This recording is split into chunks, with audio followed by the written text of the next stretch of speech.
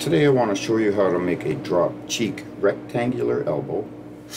To do this uh, layout we have to use the triangulation method of pattern development.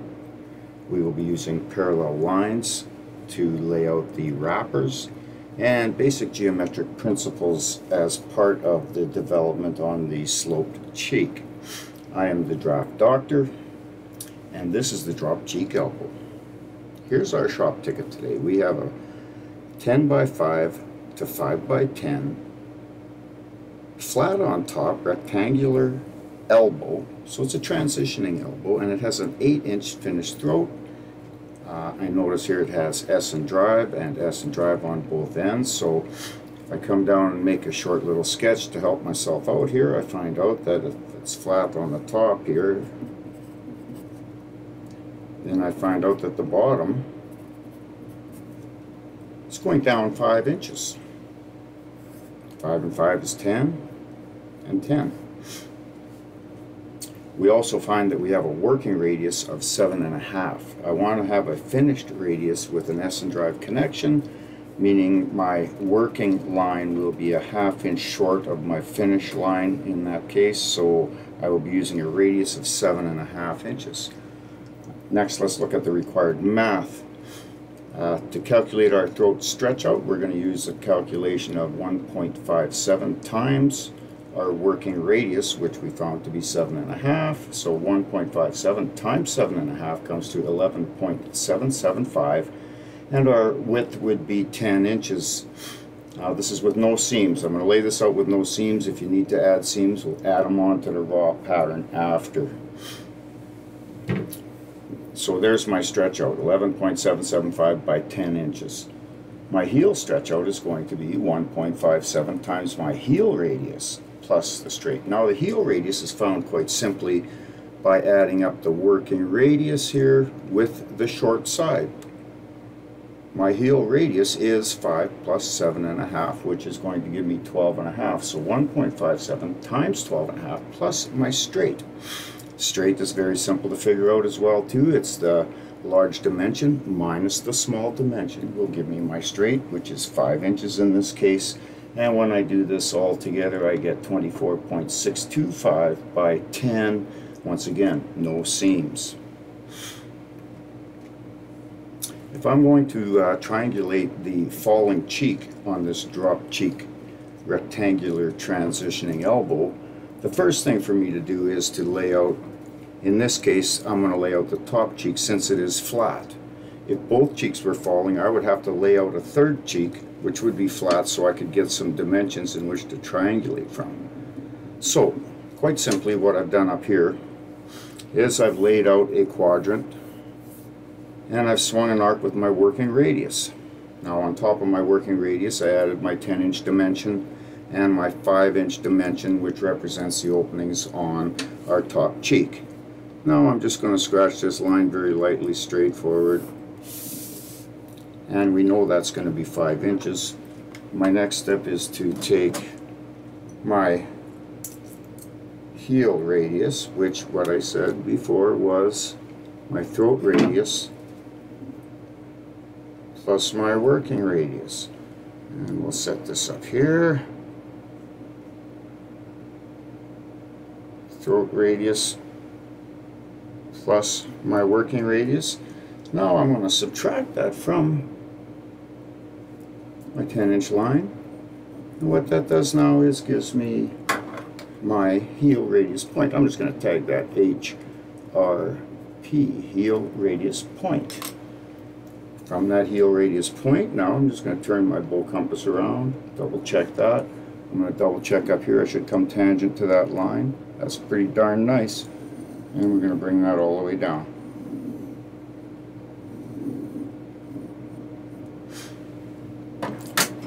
This now is the stretch out pattern for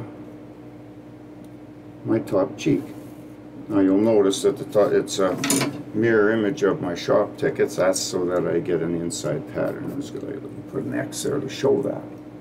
Now, what we want to do next is divide this cheek up and use this top cheek, the inside of this top cheek, as a working drawing to produce our bottom cheek, which has a fall to it. Okay, so first thing I want to do is divide this fitting up. Now, I want to find the midpoint of both my heel and throat, and I'll explain that to you in a minute. Now, to find the midpoint of my throat, quite simply, I can go 45 degrees from my apex point, and I now find the midpoint of my throat wrapper. If I want to find the midpoint of my heel wrapper, it's a little different here now because we have this here straight that we need to accommodate and the midpoint has to be not on the curve and not on this from the straight. It has to come from the corner to the corner. I need the midpoint of that. So basically what I'm going to do is I'm going to take an educated guess, I suppose, and take a distance that is what I think is half.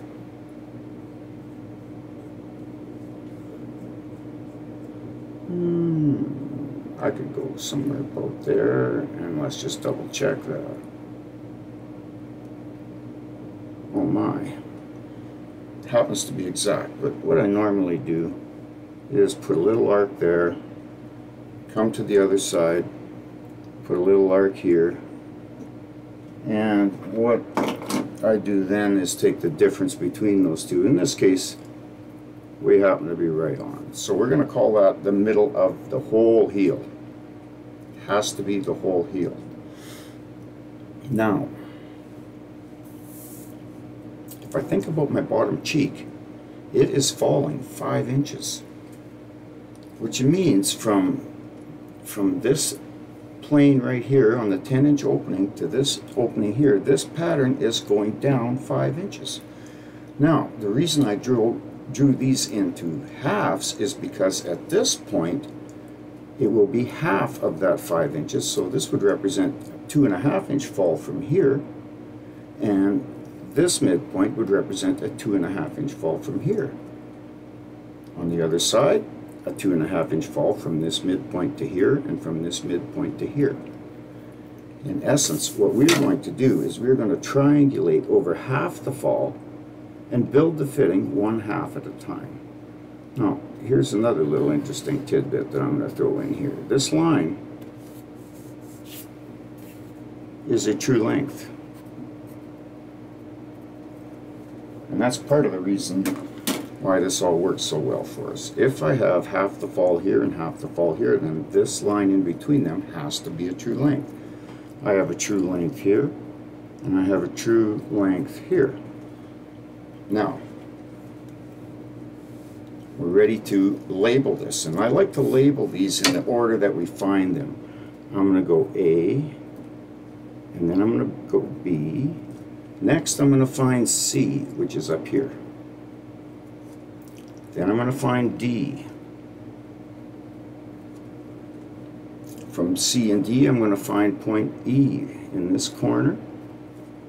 From there, I'm going to find point F. And finally, point G, which is at the end of the straight. Last point we're going to find. I'm going to put a circle on that because that's special. If I have to triangulate over half the fall, then I would have to set up a true length triangle for triangulating on. And let's just do that now. Got a nice spot right here. So, this height will represent the length that I pull off of my plan view. And what I'll do at the base of that is we'll lay out half the fall and half of the fall in this case is two and a half inches. Now I am using the 3 8 scale. So two and a half inches.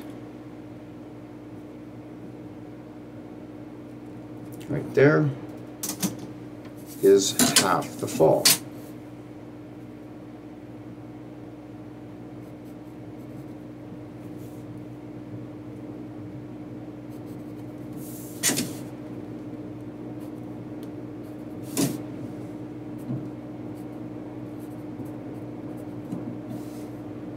Let's just mark one half full.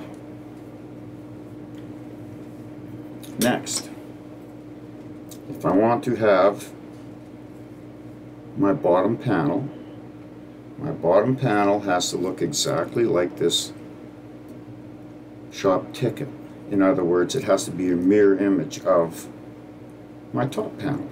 My top panel is flat, we're going to lay out the bottom panel. If I want a mirror image of it, then what I'm going to do is label this point B and this point A. I've gone ahead and measured this 10 inch dimension, so now I have B and A. From B and A, we're going to start to triangulate now. This is where she gets a little bit fun. If I take my plan length of B point C, and I plot that on my true length triangle because I know that's not a true length. It is falling two and a half inches. Looks like I gotta raise that up a little bit.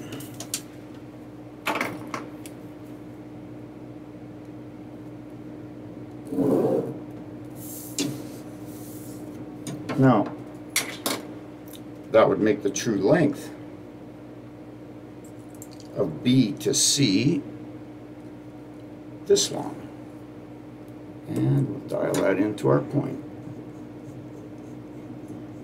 Now I'm always going to put my poker part into the two and a half inch so that I can cross these off as I measure them.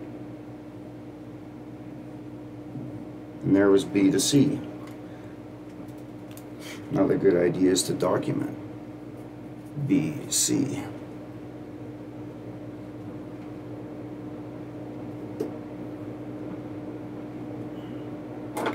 zoom out a bit. My apologies.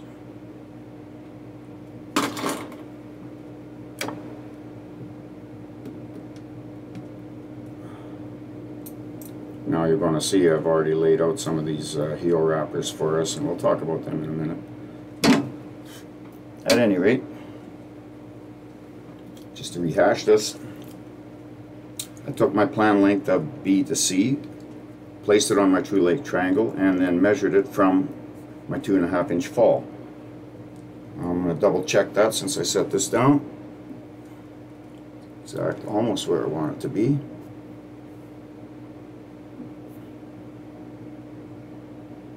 So from B, on this arc, I will find C. I'm going to use A to find C now.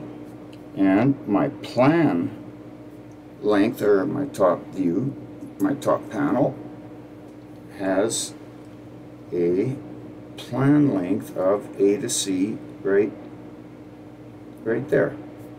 Not a true length once again. This should be very close. And there's my AC.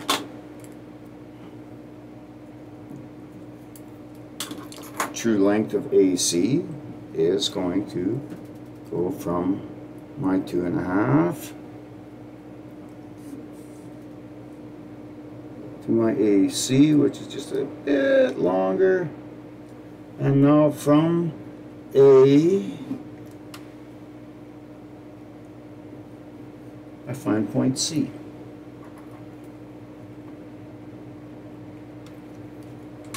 Now, A, B, C. Next I'm going to do is find D. We talked about this earlier. Since these both represent half the fall, the length from C to D has to be a true length. If it's a true length, I do not need to triangulate it. I'm just going to take it from C and I'm going to swing an arc in the direction of my throat, which would be between A and where D is going to be found. Somewhere on this arc, from A, I'm going to find D. Here is my plan length now of A to D. Off my top panel, A to D is there. There's AD. Here's the true length of A to D.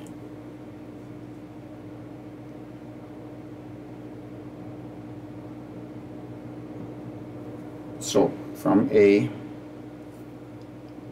I have now found point D.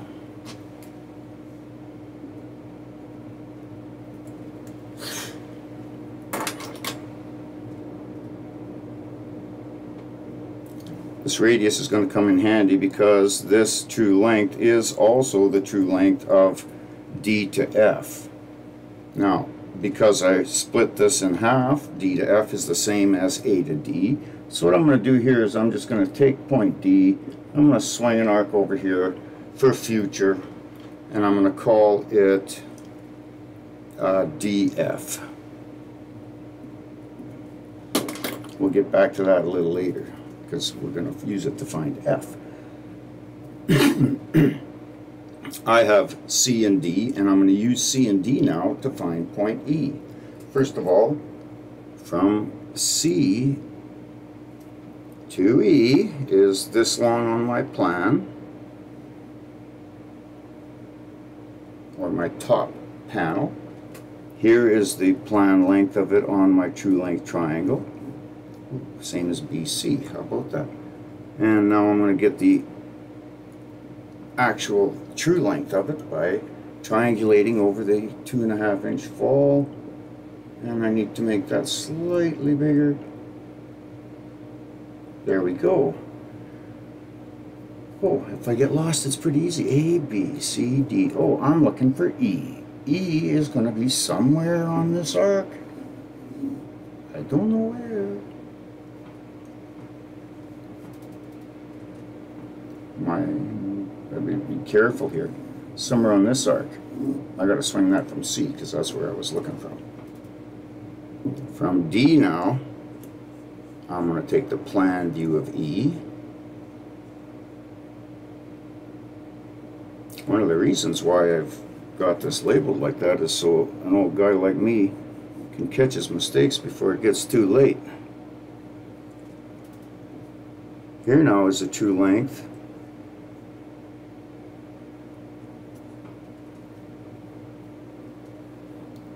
of D to E. I have now found point E.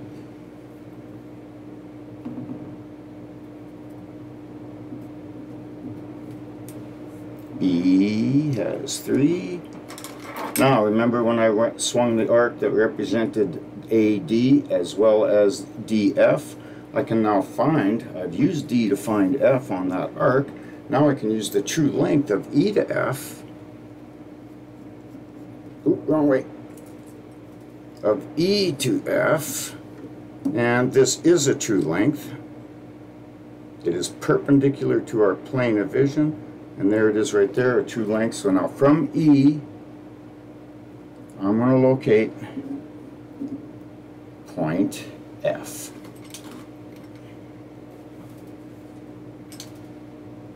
And there's point F. Okay, now we need to connect these with an arc and these with an, oh, we don't have point G yet. Hmm. How am I going to find point G? Well, if I take a look at uh, my working drawing, as well as any trans cheek elbow, I will know that this angle at the top has to be 90 degrees. E or GEF or FEG has to be 90 degrees. So, I'm going to lay that down right on my E and F. And I'm going to use my other triangle to extend this 90 degrees. Okay. Now, on that line, is point G. Here's where we need to look elsewhere to get the actual length of G. You see, this point here, G and E, is a true length on my plan view. It is five inches long. However, if I lay out my heel and I take a look at my heel, and I've got it partially here so you can see it. We're going to get to it once I've shown you this. Here is the slope.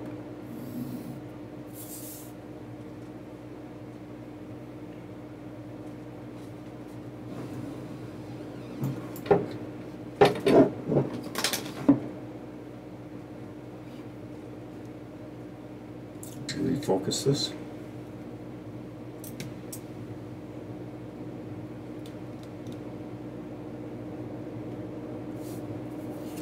I took the liberty of laying out the heel part here, and I'm just going to explain it to you real quick. If I take a look at my shop ticket over here, I can see that I have 10 by 5. In other words, if I'm looking at the inside of the heel wrapper here, to the left is my 5 inches. So, I laid out my calculated stretch out, which was 24.625, and here it is, 24 and 5 eighths. And we laid out a nice 90 degrees.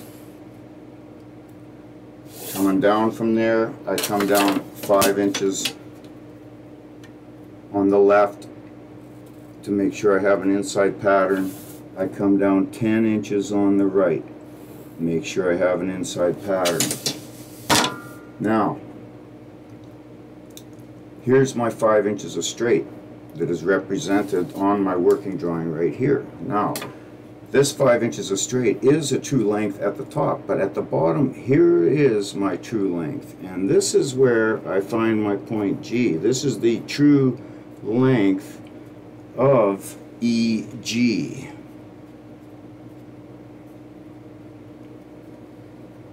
Therefore, quite simply, I'm just going to take my bow compass and I'm going to pull the length of EG off of my heel wrapper. And from there now, I am going to find point G. There we go. We have G. This is where the basic uh, geometric principles come into play. I now have to connect A, D, and F with an arc. Hmm. If I want to draw an arc or find a radius point common to three points, I need to bisect them. So I'm going to bisect.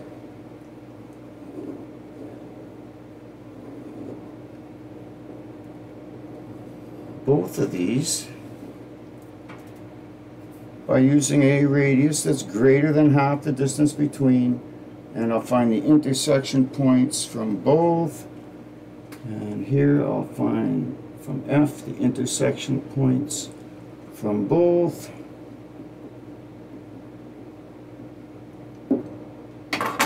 Now with my straight edge, I will connect intersection point with intersection point right there. And we will just lightly bring that down here. And then I'm going to take these intersection points from my other bisection and very carefully bring these down here what I've done is found a throat radius point.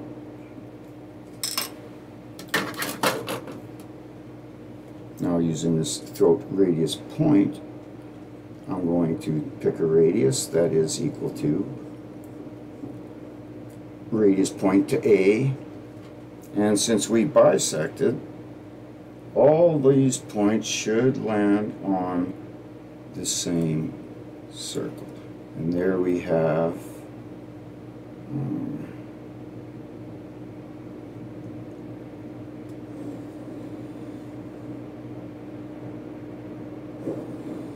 our throat laid out. Now, I have to do the same with the heel, but it's very important that I remember this. This heel has to be divided between C and G and B and C, not CE. CE is not part of the arc. If you divide C and E and bring that arc around, you're going to end up with an atrocious lump in your fitting that is obviously not going to work for you. So I'm going to have to use two different radiuses this time to do this. And I want to try and keep my work separate from the layout that I did for the throat. And I like to do a little thing like this now. I've already laid out my throat, so the ones with the circles are going to represent my heel. Now once again, I'm going to pick a radius that works, larger than half, and we will bisect C and B. Put an arc, put an arc, and I don't know if I made that first one long enough. Yes, I did. Put an arc and an arc. Let's draw these in to find our heel radius point. Hope that's going to do it for me. Yeah. Hmm, draw that down there. My other radius point is the circles that I didn't want to get confused with. I'll bring that down to here, and now I have found my heel radius point. Now, with any luck at all, I will swing this arc. We will have the bottom panel of our drop cheek elbow.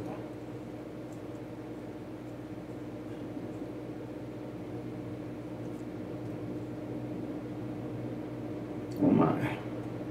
It's kind of like exactly what we want to see. So I'm just going to draw that in.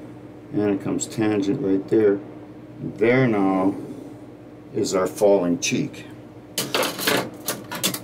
And here is how we double check. F should always be in front of E. And there it is. The reason for that is because they are both falling. Although they are both falling the same amount, they're falling the same amount over greater distances, which means the hypotenuse grows less on the larger distance than it does on the shorter distance. And you can see that in the triangle here as opposed to one that might be on the heel.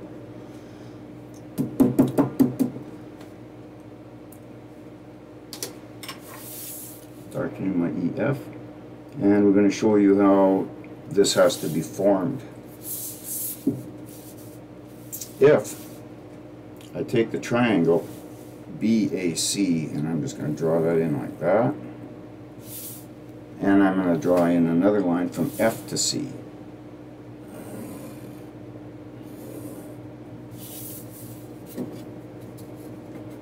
This panel is going, and if we look up here on my wrapper, it's going down five inches and that is from my 10 inch side here, my 5 by 10 up here. So it's going down 5 inches this way. Down 5 inches. Now, if I want that to go down 5, then I'm going to have to break this down 5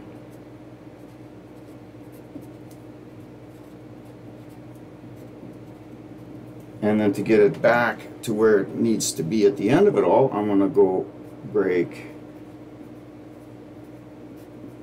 up five inches. We use a common point in the heel that way the heel travels smooth through its location here. And the throat drops nice and smooth from A to F on the throat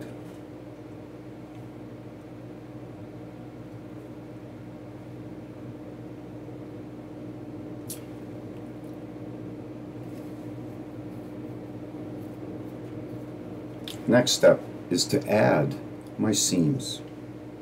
Now, quite simply, I have to add an inch to each edge. I have to add an inch for my S and drive.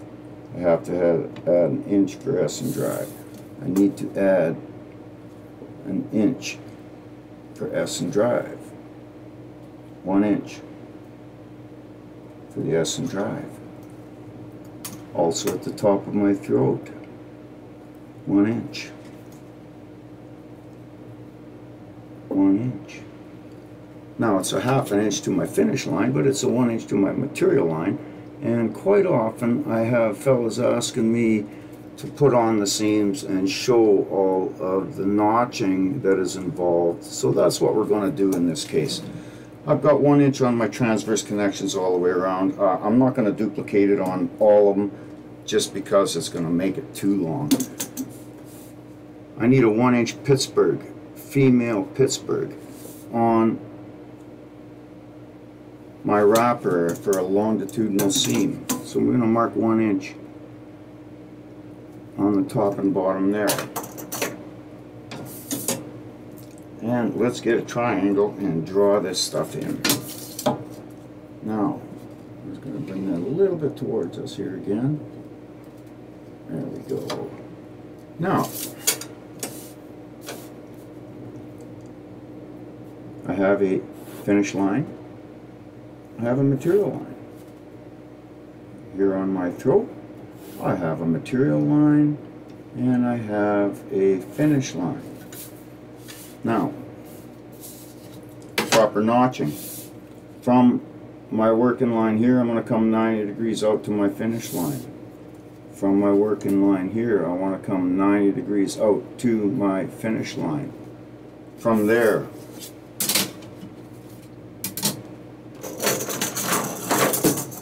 I want to notch from my working line to my finish line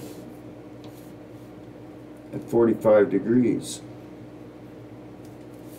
This is a standard notch, comes off any plasma table, any computer-aided design system is going to give you this little 45 degree notch. And uh, designers believe, and I believe too, that it is used to aid in the installation and the fitting of a drive clip onto this when you're in the field.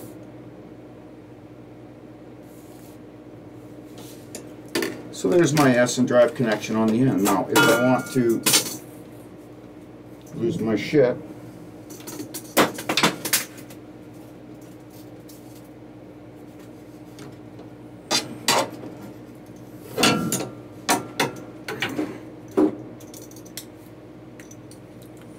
Next we want to put in our longitudinal female Pittsburgh. So I'm going to line up the one inch marks that I added on to the raw edge or the working line and I'm just going to extend that through. And here's how this works. This is an acute angle, meaning it's less than 90. If I want to notch this properly, what I would do is duplicate that angle. Now, most guys are going to do this by eye. But if you're in my class, you got to do it exactly right. So I'm going to make an arc that equalizes both legs of that angle. And now what I want to do is duplicate this angle on the other side of this leg. So I'm going to measure the chord length of that angle,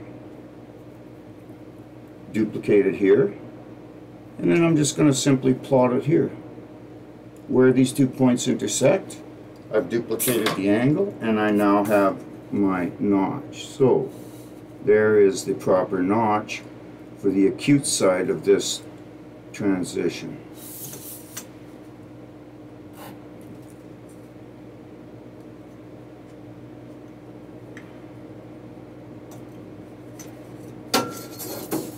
My one inch at the top basically all I need to do is go 90 degrees to my finish line and there's my notch there. And likewise on this end I'm going to go 90 degrees to my finish line because this is an acute angle. Well not that one isn't this is an acute angle and if it's an acute angle what I want to do is I want to go 90 degrees to my finish line, which is right there, 90 degrees.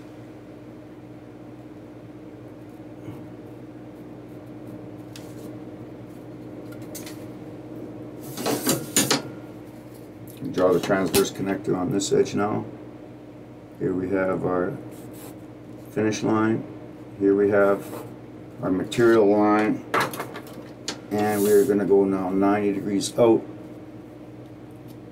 from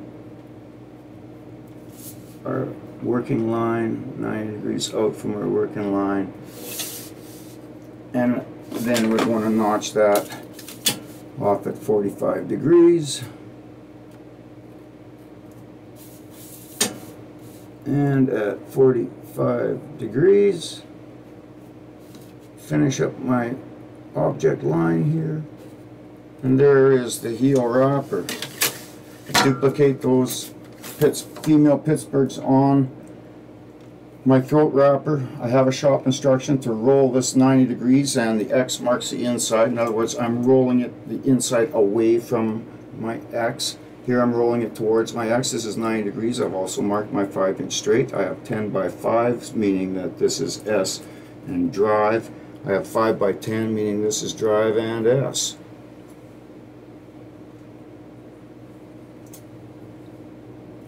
I have to have the exact same allowance.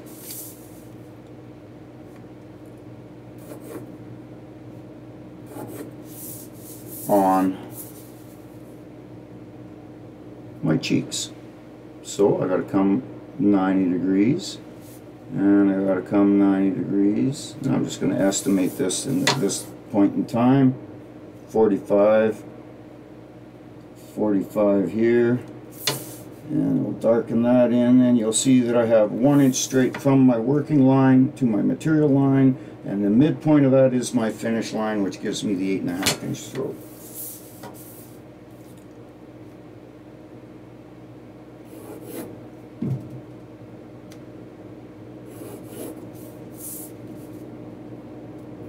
Ninety degrees, ninety degrees, forty-five, 45 and connect the dots. This fitting also requires a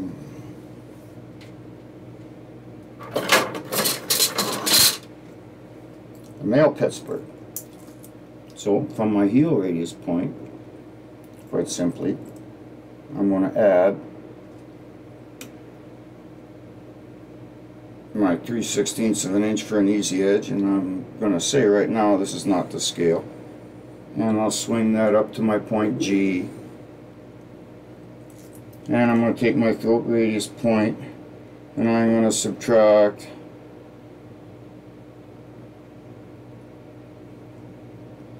a female Pittsburgh allowance which would be 3 sixteenths of an inch in an easy edge and I'm going to swing that up to my F line or my finish point